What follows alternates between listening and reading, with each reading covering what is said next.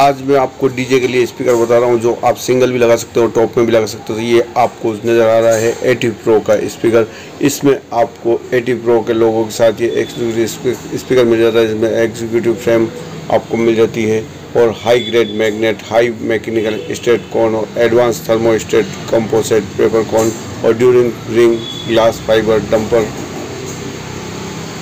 carbon free तो के hit स्निक्स point zero आपको मिल जाता है।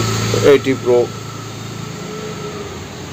आप स्पीकर देख पा रहे हैं। यहाँ पर आपको ये स्पीकर काफ़ी शानदार मिल जाता है। तो आज इसकी अनबॉक्सिंग भी मैं आपको करके बताऊँगा और काफ़ी अच्छी तरीके से आप इसकी क्वालिटी को देख पाएँगे, जो आपके डीजे में नई जान दे देगा और काफ़ी अच्छी तरीके से आप इसे यूज़ कर पाएँगे। तो इसमें आपको जो देखना है, वो किस तरह से मैं इसे ओपन करूँगा और किस तरह से इसके कनेक्शन करेंगे, उसकी पूरी जानकारी मैं आपको इस वीडियो में दूँगा। तो यहाँ पर इसे अनबॉक्सिंग करते हैं।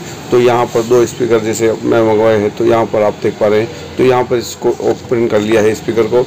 इस तरह से ये आपको शो हो रहा है। तो इसमें बॉक्स में निकालने के बाद आप इस तरह स्पीकर देख पा जिसमें आपको काफ़ी शानदार इसकी बॉडी नज़र आ रही है और इसका जो कौन है वो भी काफ़ी शानदार है और ये आप देख पा रहे हैं, इसमें काफ़ी अच्छी क्वालिटी आती है और इसमें आपको गर्म होने की टेंशन नहीं रहेगी क्योंकि ये काफ़ी अच्छी heat snacks version two point zero के साथ आप इसमें कनेक्शन करने के लिए आपको यहाँ पर दो ऑप्शन मिल जाते हैं।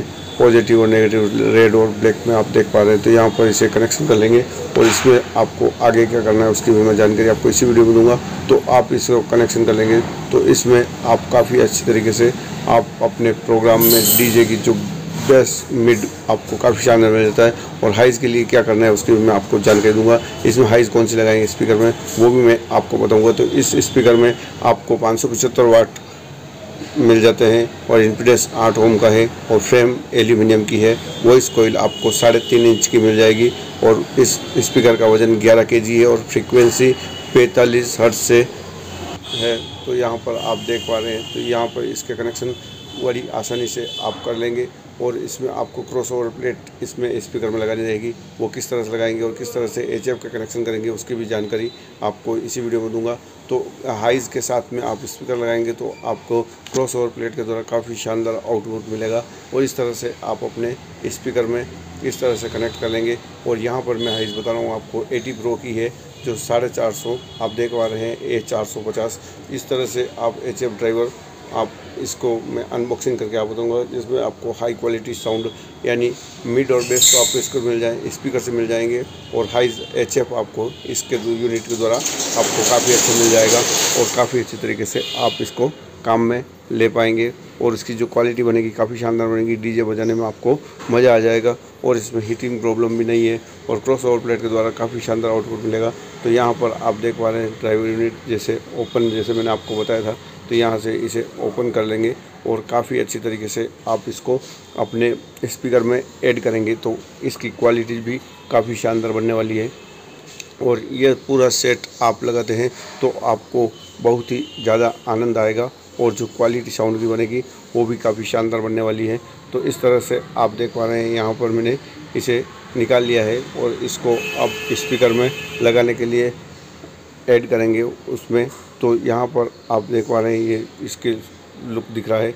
इस तरह से इसे ओपन कर लेंगे इसमें भी आपको कनेक्शन करने के लिए दो पॉइंट मिल जाते हैं, जहाँ पर आप अपने वायर को डायरेक्ट कर, ऐड कर लेंगे और उस तरह से आप चला पाएँगे, क्योंकि इसमें आपको सोल्डरिंग करने की ज़रूरत नहीं रहेगी और इसमें काफ़ी आसानी से आप लगा पाएँगे एटी प्रो का दिख रहे और यहाँ पर आपको नेटवर्क प्लेट्स हो रही है, इसमें भी आपको इन और आउट का कनेक्शन मिल जाते हैं। तो यहाँ भी आपको सोल्डरिंग करने की ज़रूरत नहीं है, सिर्फ़ आपको इस सॉकेट के अंदर वायर को डालना है और जो इन और आउट के वायर हैं, उनको आपको स्पीकर में और आपके मेन लाइन आ रही है, उससे लेकर आपको अपने क्रॉस ओवर में वायर लगाने रहेंगे। और इस तरह से आप अपने स्पीकर में दोनों को लगा लेंगे स्पीकर को और अपनी एचएफ को लगाकर आप काफ़ी आसानी से इसके कनेक्शन कर कर काफ़ी अच्छी तरीके से इसे काम में ले पाएँगे। तो इसमें आपको काफ़ी अच्छी क्वालिटी मिलने वाली है।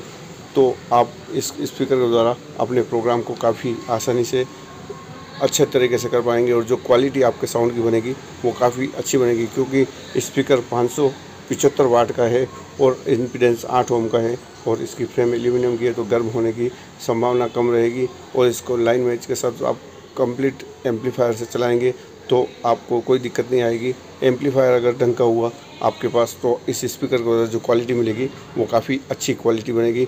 और इसी तरह की और वीडियो देखना चाहे तो आप हमारे इसी चैनल पर देख पाएँगे, जिसमें आपको अलग अलग कैटेगरी की काफ़ी सारे वीडियो मिल जाएँगे। तो आप इस स्पीकर को काम में लेकर अपने डीजे में काफ़ी नया एहसास अनुभव करेंगे, क्योंकि साउंड की क्वालिटी बनने वाली काफ़ी अच्छी बनने वाली है। और मैं खुद भी इसे काम में ले रहा हूँ। तो आप भी इसे काम में लेकर अपने साउंड में एक नया जोश देख पाएँगे। धन्यवाद।